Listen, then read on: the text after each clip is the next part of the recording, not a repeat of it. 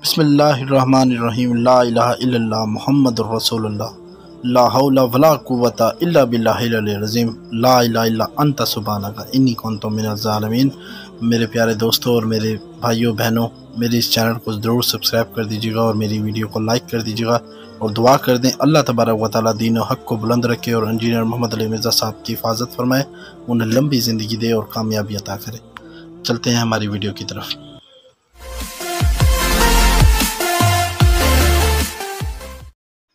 अस्सलाम वालेकुम नाजरीन, मैं आप लोगों का शुक्रगुज़ार हूँ कि आप लोगों ने मेरी इस वीडियो को क्लिक किया और मेरी वीडियो देखने के लिए आप लोगों का मैं तय दिल से शुक्रिया अदा करता हूँ। अल्लाह तबारक ताली आपको और आपकी फ़ैमिली को लंबी ज़िंदगी दे, कामयाबी दे और इज़्ज़त अदा करे।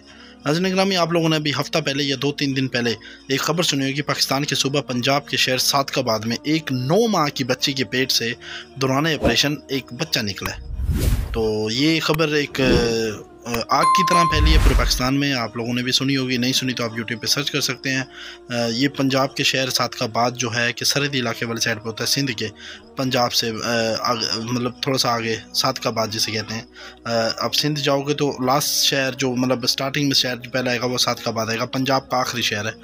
तो वहाँ पर एक बच्ची, नौ माह की बच्ची के पेट में बच्चा निकला है, ठीक है? और ये एक सच्ची खबर है। यकीन कीजिएगा, मैं झूठ नहीं बोल रहा। बच्ची के वालदेन कई माह से मुख्तलिफ़ डॉक्टर्स के पास जाते रहे लेकिन वो सेहत याब नहीं हो सकी, जिसकी वजह से उनकी सही तशखीस नहीं की जा सकी, कि डॉक्टर्स को समझ ही नहीं आ रहा था इसे है क्या।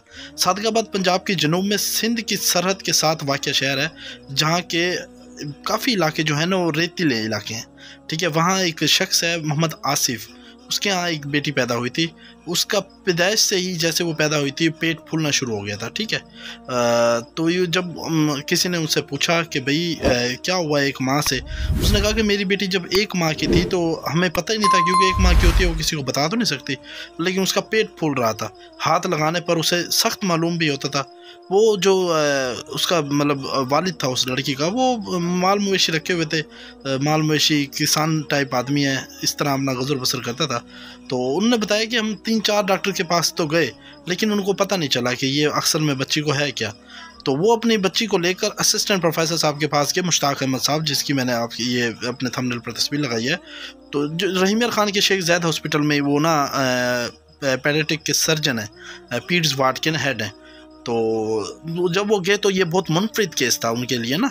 तो उन्होंने कहा कि डॉक्टर मुश्ताक अहमद साहब ने देखा जब उन्होंने बच्ची का मुआयना किया तो उनके पेट में उन्होंने समझा कि रसोली ना, रसोली के अंदर ना पानी की थैली होती है तो वो उन्हें महसूस है कि रसोली है। तो उन्होंने अल्ट्रासाउंड करवाया तो अल्ट्रासाउंड की में इस रसोली की तस्दीक होगी। तो जब डॉक्टर ने ये केस देखा तो इनके जहन में इस तरफ़ गया कि ऐसा केस हो ही नहीं सकता।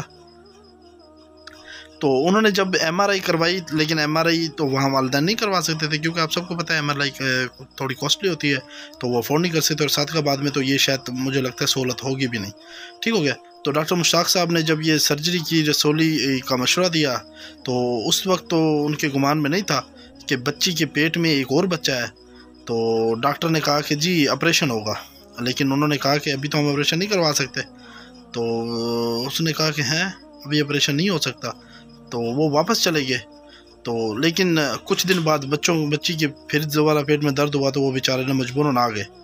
तो जब उन्होंने पेट खोला तो उसके अंदर एक थैली थी और थैली में बच्चा भी था। तो जब उन्होंने सवाल किया कि कैसे लोगों के बच्ची के पेट में बच्चा था तो उन्हें जवाब दिया कि इस तरह छः, सात माह के बच्चे की खसूसियात थी। ये बिल्कुल वैसा ही था, जैसे चेहरे के अलावा पूरा जिसम इंसानी था, क्योंकि चेहरा बाद में डेवलप होता है।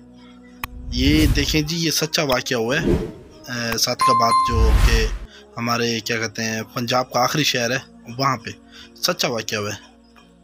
तो डॉक्टर ने वो कामयाब ऑपरेशन किया, उन्होंने बच्चा निकाल दिया। मैं आप लोगों को याद आने के लिए बताता जाऊँ और तुम अपने परवरदिगार की कौन कौन सी नहमत को झुटलाओगे? फ़ब यही आला रबी को मात ज़बान मेरा रब जो चाहे कर सकते हैं। आप हकीकता ये इस बात पे एग्री करेंगे कि जो नामुमकिन चीज़ होती है मेरे रब के लिए, वो भी मुमकिन होती है।